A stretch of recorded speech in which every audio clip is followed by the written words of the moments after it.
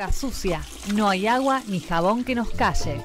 Continuamos en Boca Sucia y ya tuve mi recomendación del día sobre hablarle a los micrófonos y, demás cuestiones, cosa que rarísimo en radio, la verdad rarísimo en radio. Pero ahora tiene dos micrófonos. Ahora tengo dos micrófonos para evitar, viste, con el movimiento de cabeza que se vaya el, caudal de, de, voz. Bien, eh, bloque 2. Eh, Boca Sucia, la visita de la doctora Dora Barrancos. Nadia, ¿estás por ahí? Soy, eh, sí, eh, bueno, gracias por tomar nota del micrófono, porque bueno, por el teléfono se hace un poquito difícil escuchar, pero no, se escuchó todo perfecto. y sí, hoy desde acá de Ushuaia, justamente por esto que comentás de, de, la visita de Dora Barrancos acá a la provincia, todo muy inesperado, ¿no? Fue como una visita fugaz, pero la verdad que no tuvo desperdicio. El día sábado ella estuvo dando una conferencia sobre género, sobre eh, mujeres en la universidad y bueno, también hablando un poco de coyuntura, particularmente eh, lo que hace referencia al debate por la despenalización y legalización del aborto, eh, trabajando también fuerte sobre las implicancias de la universidad pública el día de hoy. Quien quiera escuchar la entrevista, afortunadamente está colgada en la página de la, de la radio de la universidad, en la fanpage y también en el YouTube. Así que busquen ahí 106.9 Radio UNTDF y ahí tienen dos horas de un material imperdible, porque la verdad que escuchar la Dora eh, siempre, siempre es un lujo. Eh, y hoy tuvimos una nueva reunión con ella. Eh, yo a, ella la, la, conozco desde el primer seminario del doctorado que empecé eh, en Historia de las Mujeres, ella lo dictó y, desde ese momento eh, siempre que tengo la oportunidad de escucharla mm. lo hago. Amor a primera vista. Eh, sí, sí, amor a primera escucha. claro. porque, porque sí, no, la verdad es que es, es, un lujo, siempre, siempre es un lujo. Y hoy estuvimos reunidas y reunidos con los docentes del Instituto de Cultura, Sociedad y Estado de la universidad, hablando, bueno, sobre las implicancias de la investigación, eh, en ciencias sociales, ¿no? Repito, ella es directora de, de, CONICET, eh, directora de la parte de ciencias sociales. Entonces, bueno, estábamos hablando justamente de, esta temática. ¿Cuáles son las, cuáles son las, en la coyuntura actual, cuál es la importancia de hablar eh, de ciencias sociales? Particularmente le consulté respecto a, las temáticas de género. Ella reconoce que ha habido una transformación sumamente importante y afortunadamente se está eh, se sigue creciendo en este sentido.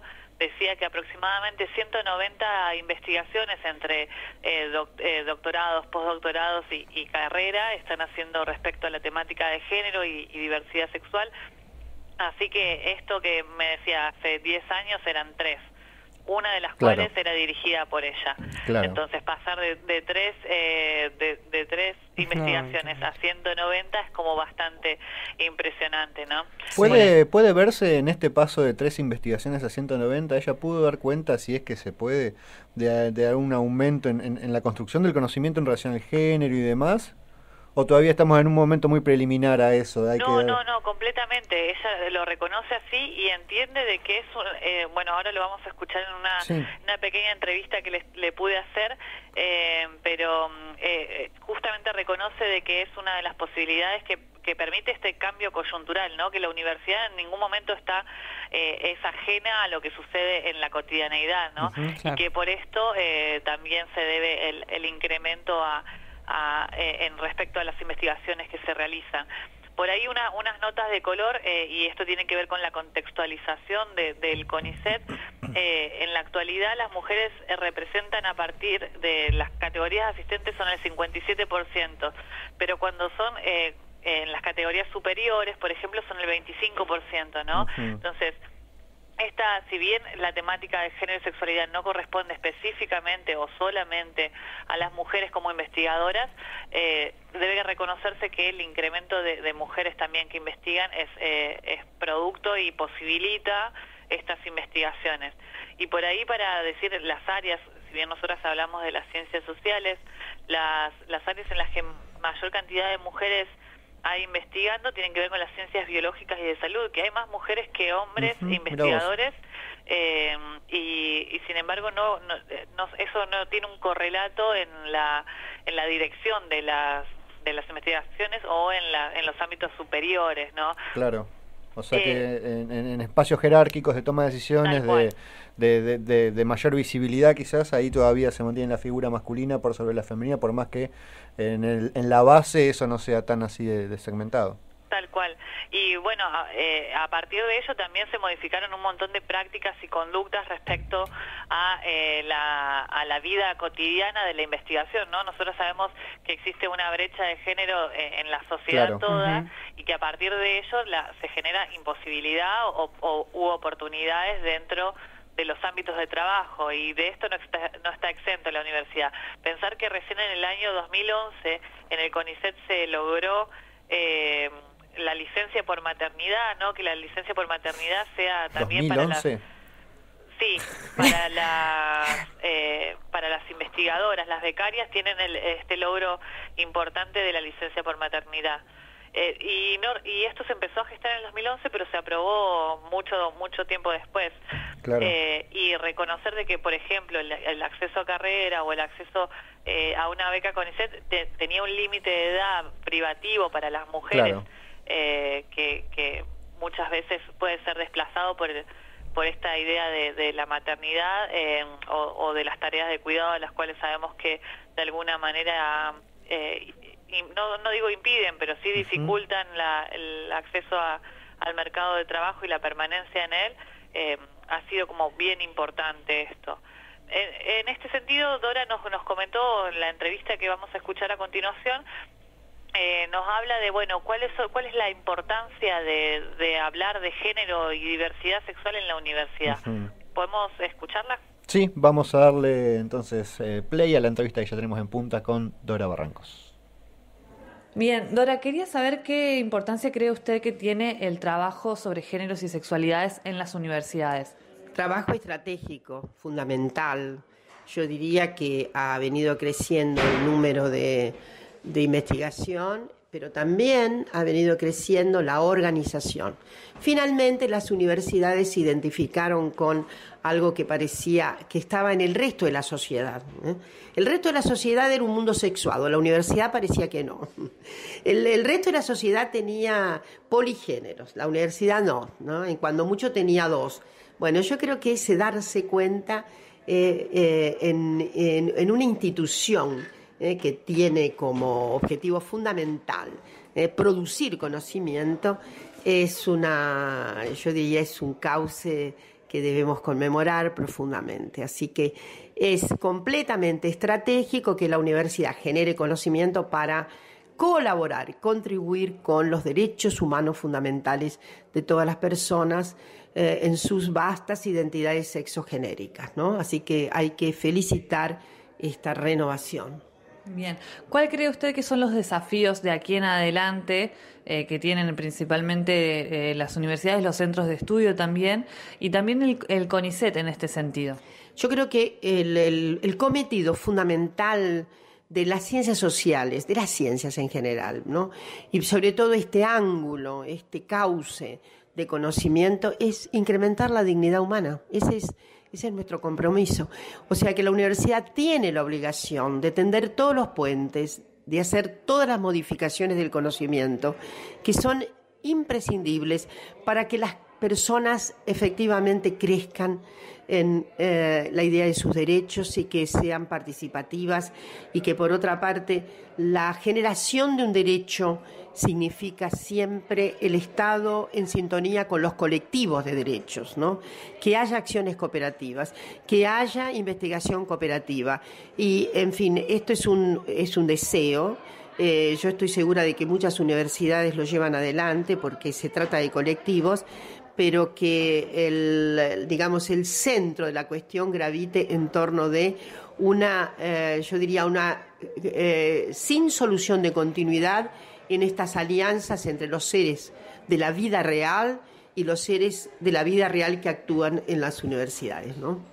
Continuamos en lo que decía la doctora Antes de cortar la grabación estaba haciendo como una esto una apreciación personal porque mm, bueno, es, la verdad es que sí, tengo una admiración muy grande por Dora y no quería dejar de perderla, no quería perder la oportunidad de, saludarla. Me, me, dio un caluroso abrazo después, ay, fuiste estudiante mía, sí.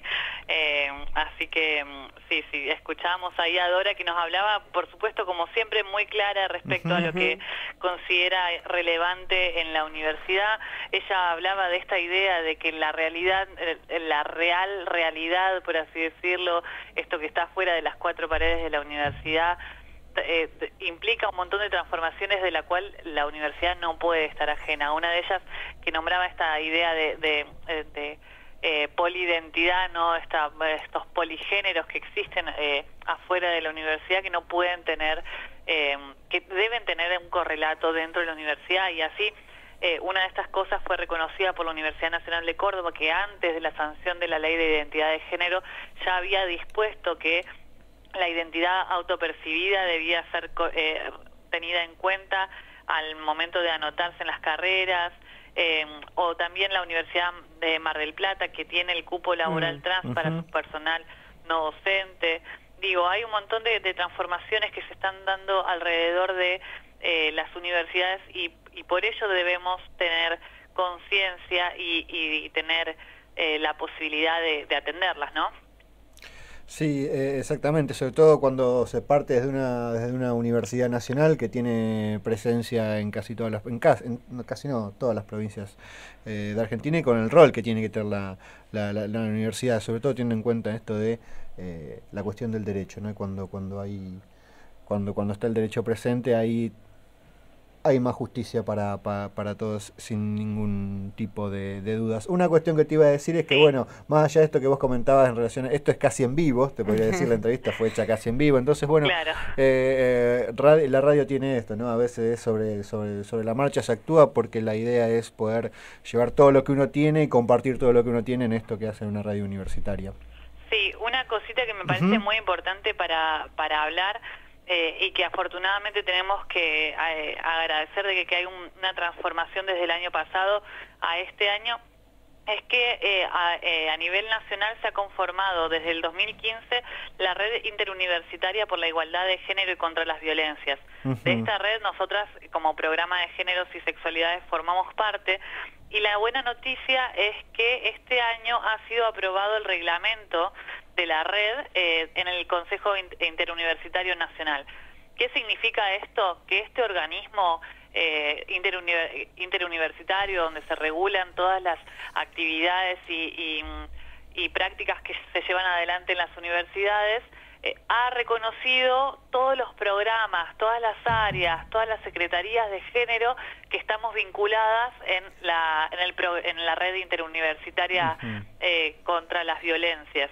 Entonces, esto es un paso fundamental para toda, o por lo menos es un reconocimiento muy, muy importante para todas las áreas de género del país, todas las personas que estamos trabajando eh, con respecto a la temática y que se reconozca este trabajo a nivel nacional es la verdad eh, más que gratificante. Así que ya formamos parte del Consejo Interuniversitario Nacional eh, y esto nos deja por supuesto, mucho más que contenta. Sí, porque además del reconocimiento del trabajo es las posibilidades de articulación y cómo se puede empezar a trabajar con otras con, con, otras con, otros programas eh, con una posibilidad de, aprendizaje constante no porque uno mm. cuando está solo en un programa a veces la cuestión puede trabarse no porque no tenés feedback con otros con otros programas pero ahora participar de esto con las posibilidades que nos da la tecnología quizás también permita que se acelere un poco este avance en relación a los derechos de género y demás Completamente, completamente. La verdad es que súper contentas y bueno, eh, Dora también nos ha agradecido, ella forma parte también de, la red interuniversitaria y ha agradecido un montón que, que, se, que, bueno, que se siga trabajando en este aspecto. Yo no creo que, o sea, hay mucho más para decir respecto al género y la universidad. Me parece sumamente importante que esta, este espacio, que como vos decís, es un, eh, principalmente en las universidades públicas, que nos debemos a la sociedad, nos debemos al resto del país, al resto de la comunidad, eh, que lo estén trabajando. Así que, por supuesto, hago la invitación a quienes quieran participar del programa de géneros y sexualidades de la universidad. Está más que abierto, afortunadamente cada vez somos más y tenemos muchas más ganas de trabajar, así que eh, esto, muy contenta por ser parte de esto y muy contenta de que Dora nos deje el siguiente saludo. Bueno, con enorme cariño he sido acogida en esta comunidad universitaria. Así que toda mi retribución, estoy muy impactada por todo lo que ocurre aquí y estoy segura de que esta universidad va a marcar tan australmente grandes derroteros para revocar las injusticias, las inequidades y contribuir decididamente a la eh, mejor calidad de vida, a la dignidad humana. Así que un saludo muy, muy especial. Gracias al señor rector, perdón por este acto muy telúrico, pero ha sido su cariñosa, enérgica demanda eh, eh, la que me trajo. Así que un gran reconocimiento al rector y muchísimos éxitos. Muchas gracias, Dora. Gracias, Dora, así como vos lo comentabas en, el audio, sí. Eh, bueno, ¿qué más decir, no? De un fin de semana fue de, locura, dirían los títulos de algunas películas, en relación a, bueno, llegó el, el viernes, creo, el sábado de una conferencia eh, ahí en el Instituto de Cultura, Sociedad y Estado de nuestra universidad en Ushuaia y después, bueno, esta charla con, docentes también de, la universidad para, para ver un poco el tema de, la investigación, del ingreso a carrera y de la cuestión sobre todo de género, que es ella lo que, a lo que vino a hablar.